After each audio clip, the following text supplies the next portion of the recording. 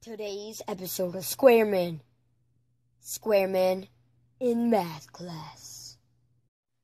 Okay, okay, class. Let's get ready. As your teacher, Mr. Swagalicious, we will be teaching you how to do math. And our problem for today is the hardest one of all. We are going to try and figure out what pl- 2 plus 2 equals, class. Oh, right there. Logan, come up here.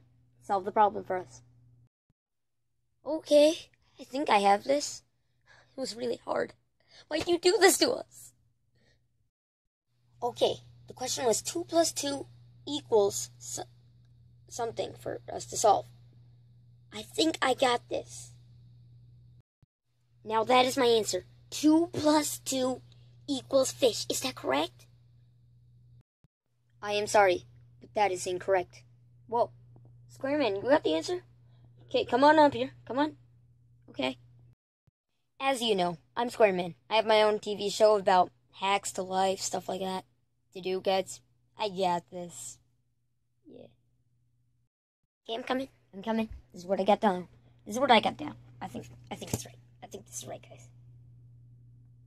It's the simple way. So basically, the problem was just 2 plus 2 equals with what we had to figure out. And this is definitely the right answer. This problem is so easy. 2, which is this one, 2 with another 2, this one, definitely equals. It definitely equals this right here. And this is that one. So this one plus this one equals that one. It's. Whoa, Squareman. That just opened up my eyes. Dude, you nailed that. That is correct.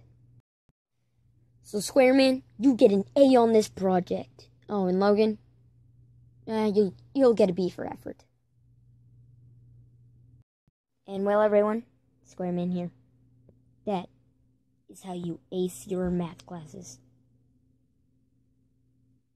Squareman out.